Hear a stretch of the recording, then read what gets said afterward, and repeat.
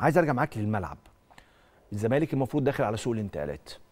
بدون ذكر أي أسماء شايف الزمالك محتاج كم اسم أو كم لاعب في القائمة الجديدة عشان الأمور تتظبط فنيا في الملعب؟ أنا شايف إن أول حاجة الإعارات يعني الإعارات لازم ترجع. أوباما محمود علاء. آه، حمدي علاء أسامة فيصل. آه، دولت يعني وأحمد عيد. ال back right طبعا. عامل موسم حلو جدا. دي أول حاجة لازم نادي الزمالك ياخد خطوة فيها إن الاعارات بتاعت لعيبة الزمالك لازم يرجعوا. عظيم. بجانب إن لازم ان يحصل تعاقدات مع مع لعيبة سوبر يعني على الأقل خمس صفقات سوبر. خمس صفقات على الأقل. قول لي المراكز.